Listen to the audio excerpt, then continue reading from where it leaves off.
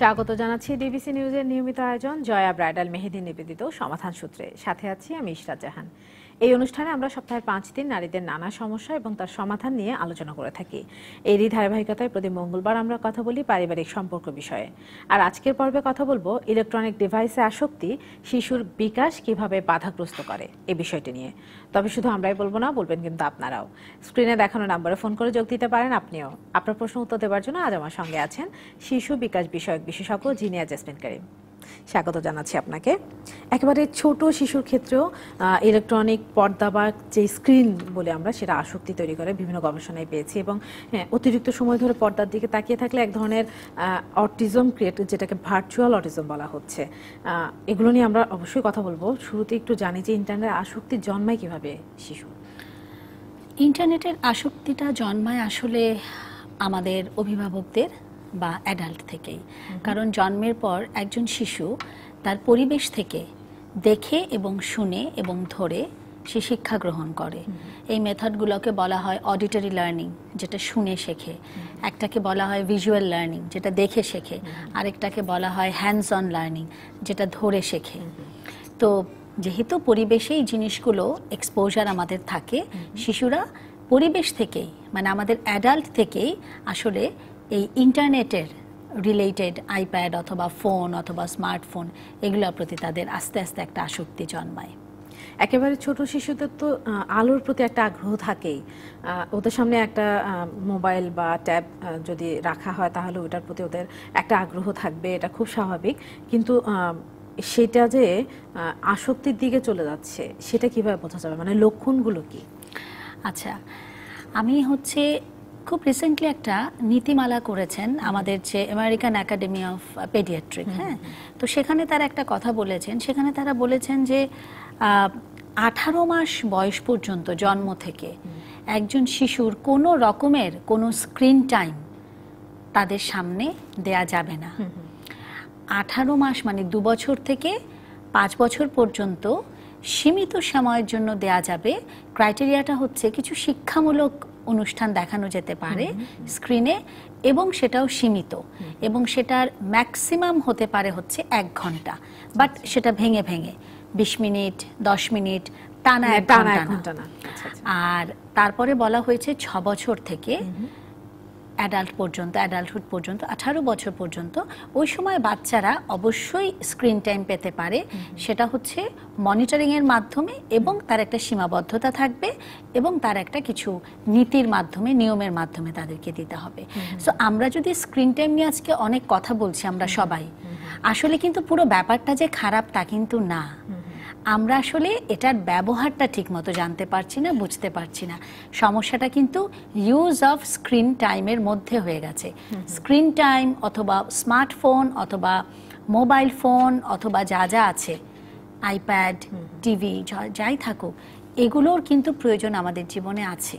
But এটার ব্যবহারটা আমরা বোধহয় ঠিকমতো বুঝতে পারছি না। সেই জায়গাতে আমাদের কাজ করতে হবে। আচ্ছা আপনি বলছিলেন যে বিভিন্ন ধরনের শিক্ষামূলক যে অ্যাপসগুলো থাকে সেগুলোর ব্যবহার যারা এই অ্যাপসগুলো তৈরি করছে বা যাদের এটার সাথে ব্যবসায়িক স্বার্থ জড়িত আছে তারা কিন্তু আবার বলছে যে এই শিক্ষণীয় ব্যাপারগুলো শিশুর জানার জন্য অ্যাপসটা খুব জরুরি এবং সেই জন্য মোবাইল বা বিভিন্ন ট্যাব বা কম্পিউটারে শিশুর আসক্তি তো এখানে আর ওরা বলছে না ওরা অন্য কোনো শব্দ ব্যবহার করছে যে ব্যবহার করা জরুরি শিশুর। আসলেই কতটা জরুরি? মানে অ্যাপস নির্ভর শিক্ষা কেন হতে হবে? অবশ্যই অ্যাপস নির্ভর শিক্ষা হতে হবে না।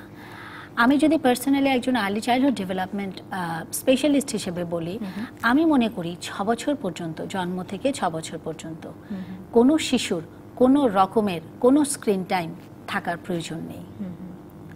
তার কারণ হচ্ছে এগুলো ছাড়াই শিশুর যে মানসিক বিকাশ যে মানে পাঁচটা এরিয়ার যে ডেভেলপমেন্ট আছে একটা সার্বিক বিকাশ যেটা হয় ভাষার বিকাশ আবেগের বিকাশ সামাজিক বিকাশ বুদ্ধির বিকাশ শারীরিক বিকাশ এগুলো কোনো কিছুর জন্য কোনো অ্যাপসের প্রয়োজন নেই। এবং আমরাই এটা নিজেরা তৈরি করেছি। আর অ্যাপসের প্রয়োজন আসলে যেমন কিছু রাইমস আছে।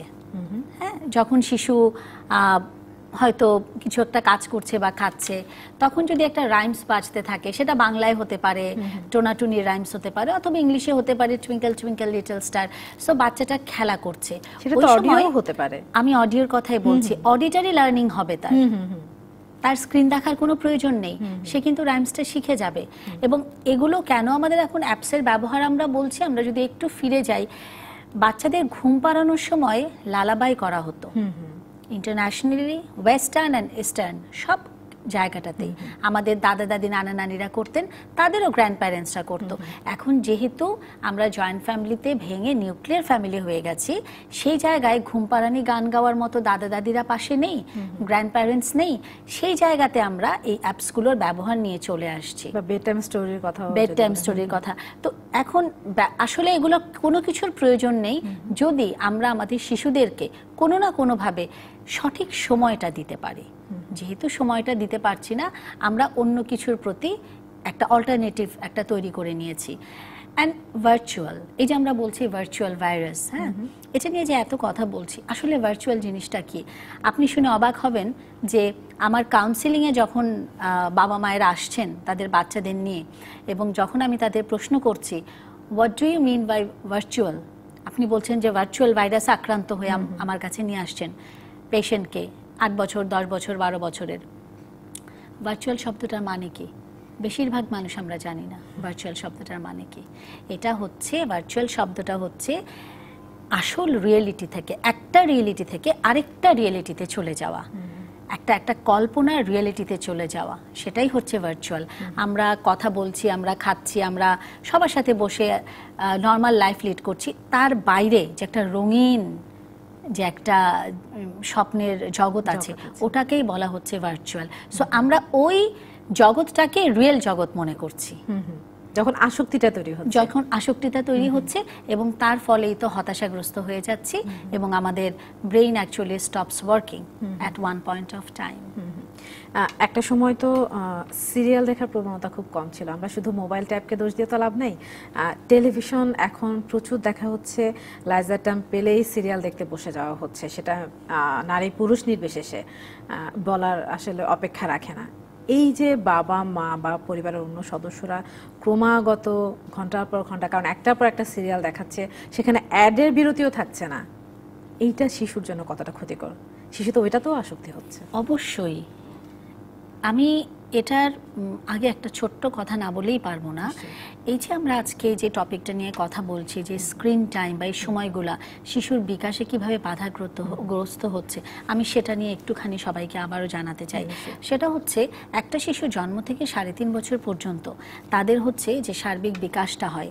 সেখানে এই পাঁচটা বিকাশ ল্যাঙ্গুয়েজ ডেভেলপমেন্ট যেটা হচ্ছে ভাষার বিকাশ সোশ্যাল ডেভেলপমেন্ট সামাজিক বিকাশ এরকমভাবে বুদ্ধির বিকাশ এই পাঁচটা জিনিস আবেগের বিকাশ এই পাঁচটা জিনিস থাকে।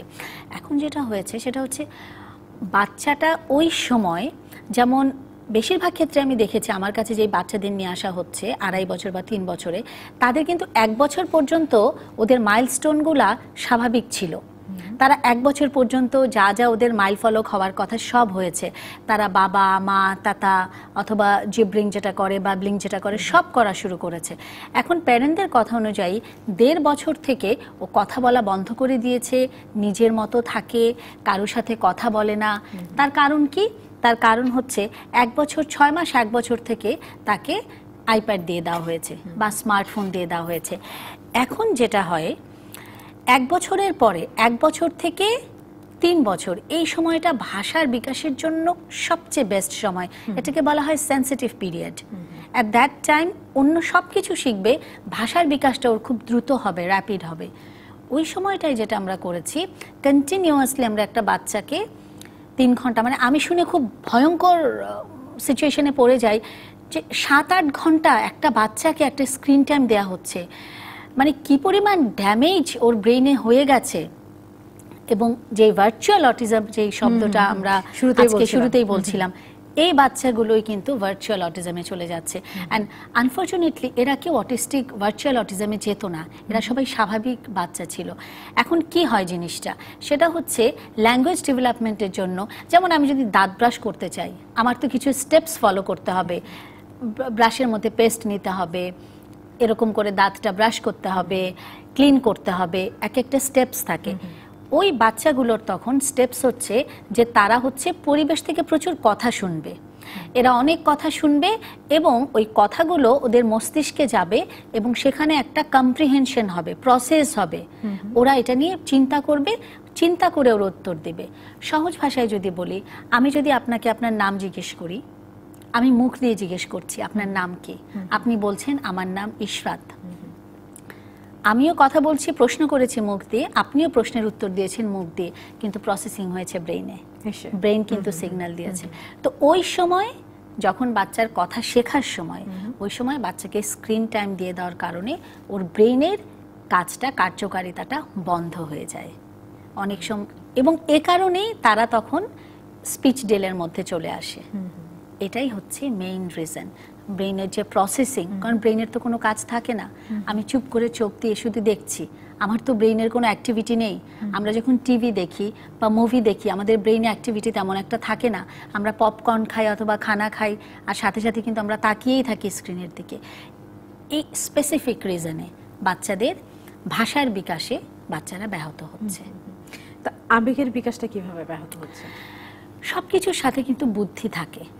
আচ্ছা এখন যেটা হচ্ছে পাঁচটা বিকাশ যদি ধরি ভাষার বিকাশ আবেগের বিকাশ সামাজিক বিকাশ বুদ্ধির বিকাশ এবং শারীরিক বিকাশ। শারীরিক বিকাশ হচ্ছে নাম্বার ওয়ান হচ্ছে চুপ করে বসে আছি।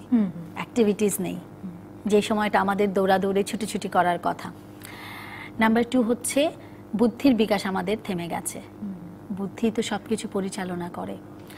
এবং কন্টিনিউয়াসলি আমরা স্ক্রিন টাইম দেখতে দেখতে একটা বাচ্চার যেটা হয় একজন শিশুর যেটা হয় সেটা হচ্ছে ওর তো ও তো জগতের বাইরে চলে গেছে ওর নিজস্ব একটা জগৎ তৈরি হয়ে গেছে। তখন যেটা হয় কারুর ইন্টারাপশন যে কোনো কিছু ভালো কথা মন্দ কথা তার সেটা ভালো লাগে না। তখনই সে রিয়্যাক্ট করে। সো আবেগটা ইমোশনটাকে কন্ট্রোল করা যে আমরা যে অ্যাগ্রেসিভ হব না সেই শিক্ষা তো সে পায়নি। পায়নি, কারণ সে তো একটা জগতের বাইরে চলে গেছে। ও তো নর্মাল জগতে ছিল না। ও যখন দেখবে নর্মাল মানুষের মধ্যে থাকবে দেখবে যে বাবা রাগ করছে মা রাগ করছে বন্ধু রাগ করছে ভাই রাগ করছে আবার কীভাবে তারা ভালোবাসছে আদর করছে শিক্ষাগুলো তো সে পাচ্ছে না। সে তো একটা একটা অ্যানাদার একটা রিয়েলিটি একটা একটা অন্য দুনিয়াতে তারা চলে গেছে। এবং এবং একইভাবে সামাজিক বিকাশ, মানুষের সাথে কথা বলার তো প্রয়োজন নেই কমিউনিকেশন করার প্রয়োজন নেই, আমার তো স্ক্রিন সামনে আছেই এবং আমরা কি চিন্তা করতে পারি যে কত কালারফুল রঙিন একটা জগৎ, তার থেকে কি করে আমাদের এই সাদা মাটা, সাদা কালো পর্দা ভালো লাগবে? বাবার বকা, মা খেতে বলছে কত জিনিস শিক্ষার এখানে আছে। প্রতিটা জায়গায় আমাদের স্ট্রাগল করতে হচ্ছে। সো এ কারণে তারা আস্তে আস্তে ওটার মধ্যে শিশুরা ঢুকে যাচ্ছে এবং ওদের শেখার যে মস্তিষ্কের যেই কানেকশনগুলা নিউরনের ওই কানেকশনগুলো আলগা হয়ে যায়। আমাদের কানেকশন থাকতে হবে এরকম মস্তিষ্কে। কানেকশন হয়ে যাচ্ছে এরকম লুজ হয়ে যাচ্ছে। লুজ হয়ে যাচ্ছে। এই কারণে ওরা ঠিকমতো চিন্তা করতে পারছে না। তাদের বুদ্ধি ঠিকমতো আসছে না এবং তারা কমিউনিকেট করতে পারছে না। তারা জানে না কি বলতে হবে। জেনে জেসমিন করিম আমাদের সাথে একজন দর্শক আছেন। দর্শক আপনার নাম বলে প্রশ্ন করতে পারেন। হ্যালো আসসালামু আলাইকুম। ওয়ালাইকুম আসসালাম। আমি রিমা বলতেছি ফেনী থেকে। জি রিনা বলুন। আমি বলতেছি আমার বাচ্চা চার বছর এক মাস চলতেছে হ্যাঁ?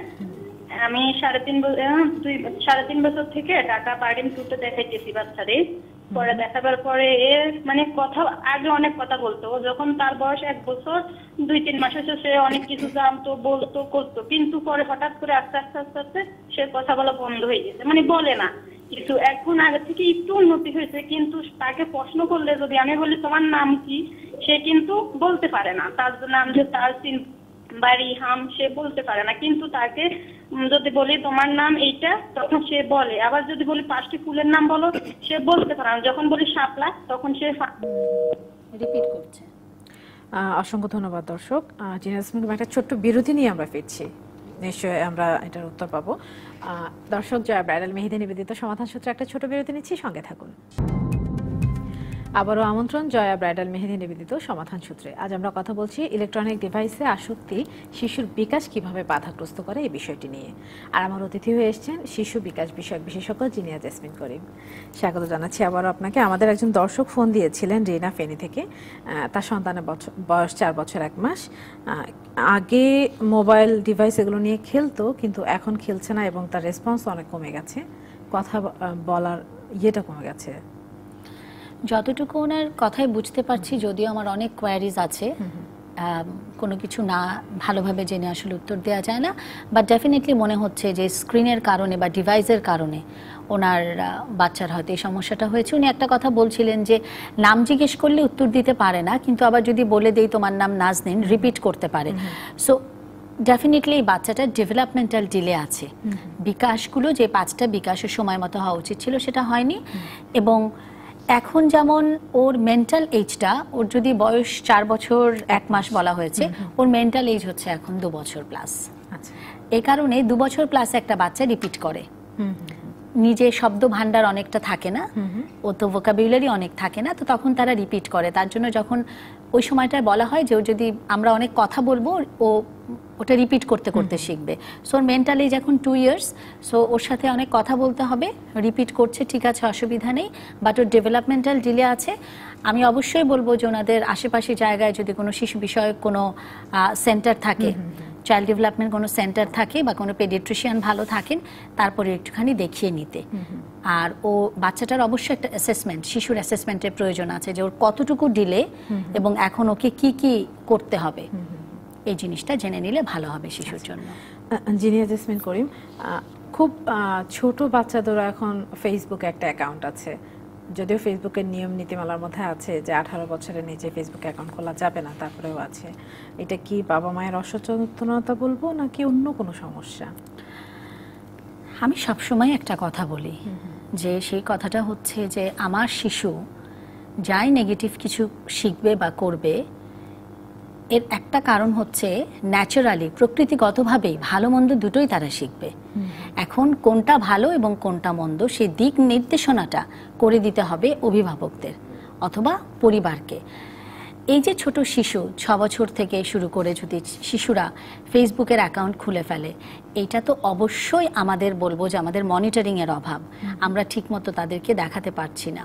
কারণ তারা অবাধ্য কাজ করবেই তারা তারা সব শিখবে তারা ভালো মন্দ সব শিখবে। কিন্তু তাদেরকে মনিটর করতে হবে দেখতে হবে তারা কি শিখছে অভিভাবককে। আমি আজকে এই প্রোগ্রামে দু একটা ইম্পর্ট্যান্ট মানুষের ইম্পর্ট্যান্ট দু একটা ইনফরমেশন দিতে চাই। আমি পড়াশোনা করছিলাম অনেক কিছুই পড়ছিলাম। পড়তে পড়তে আমি খুব ইন্টারেস্টিং কিছু ফাইন্ডিং পেলাম। আমি সেটা অবশ্যই আপনাদের সাথে শেয়ার করতে চাই।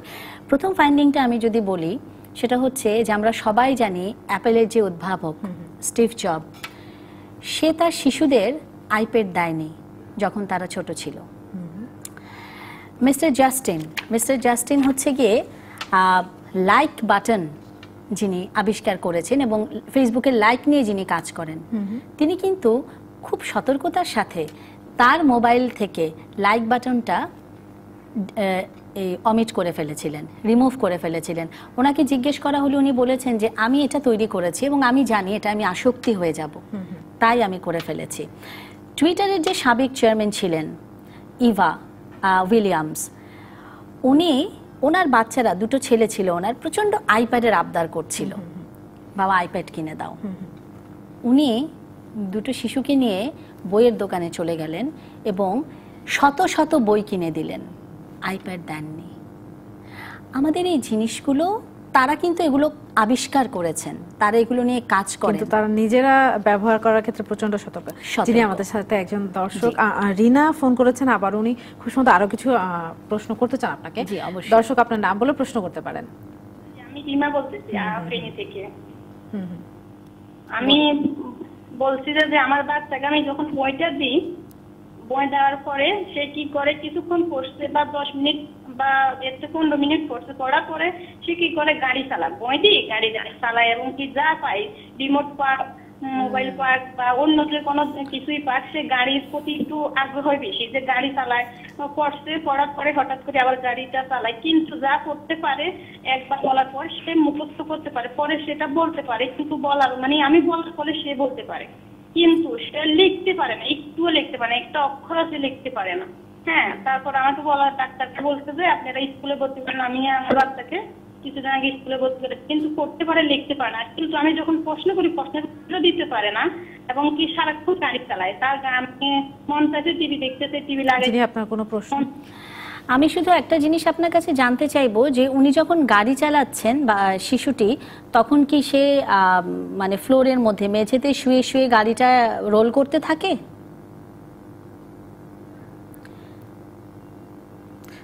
সংযুক্তি বিচ্ছিন্ন তারপরে আমি বুঝতে পেরেছি ওনার সমস্যাটা।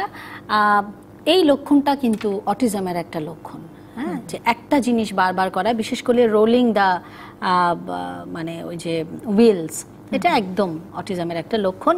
তো এটা থেকে ওনাকে বের করে আনতে হবে। ইন্টারভেনশন দিতে হবে ওনাকে।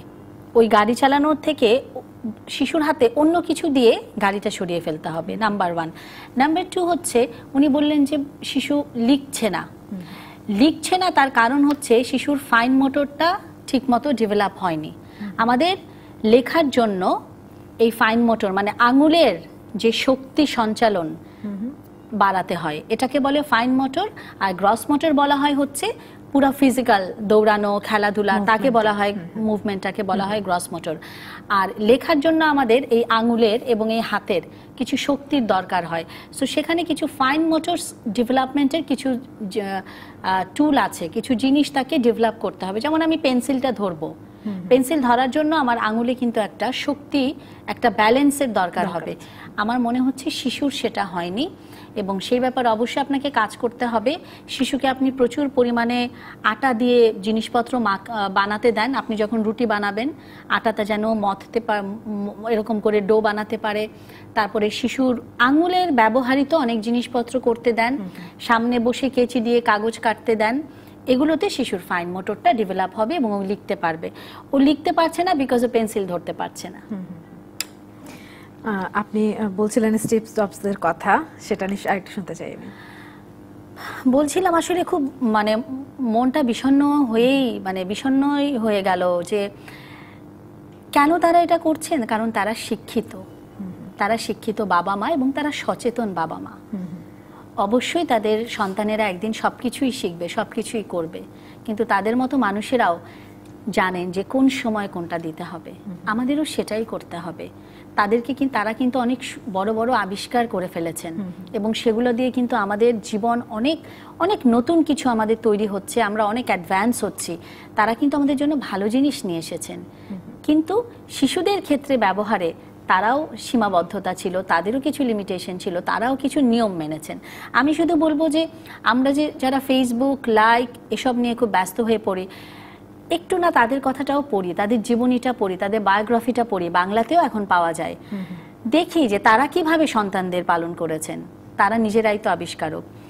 একটা ছোট্ট জিনিস আমার সেদিন খুব মনে কষ্ট দিয়েছে। একজন আট বছরের মেয়ে সে একটা ফেসবুকে অ্যাকাউন্ট খুলেছে। অ্যাকাউন্ট খোলার পরে সে খুব বিষণ্ণ বিকজ সে অ্যাকাউন্ট খোলার পর থেকে তিন চার দিন সে শুধু একটা লাইকের অপেক্ষায় ছিল। কেউ তাকে লাইক দেয়নি। এবং ওই বাচ্চাটাকে আমি পেয়েছিও। ওই, এই ধরনের শিশু আমি পাই। তো সে আবার আরেকটা অ্যাকাউন্ট খুলেছে। আরেকটা অ্যাকাউন্ট খুলে সে সেখান থেকে তার নিজেকে লাইক দিয়েছে। আমাদের এত শক্তি থাকার পরেও একটা লাইকের উপর আমাদের দুঃখ আর সুখটা নির্ভরশীল হয়ে যাচ্ছে। নির্ভরশীল হয়ে যাচ্ছে। একটা লাইক আমাদের নিয়ন্ত্রণ করছে। এই শিশুর হতাশা থেকে আপনি কীভাবে এই শিশুকে মুক্তি দিবেন? জিনিয়া জেসমিন কবির আমাদের সাথে একজন দর্শক আছেন। দর্শক আপনার নাম বলে প্রশ্নটি করতে পারেন। আপু আমার নাম শিল্পী। আমার মেয়ের নাম রাফা। জি শিল্পী বলুন। আমার মেয়েটার দশ বছর চলতেছে। সে মোবাইল নিয়ে ঘাটাঘাটি করে কিন্তু তার পড়া মনে থাকে না বা কোনো কিছু বললে খেয়াল থাকে না। সে কোনো কিছু কেয়ার করে না। কিন্তু আমি যদি বলি এটা করো তখন সে বুঝে হ্যাঁ এটা করতে হবে। কিন্তু অক্ষরগুলো চিনতে চেষ্টা করতেছে না। মানে কোনো কিছু সে পারে না পড়াশোনার ব্যাপারে হোক বা কোনো কথার ব্যাপারে হোক। কোন ক্লাসে পড়ছে আপনার মেয়ে?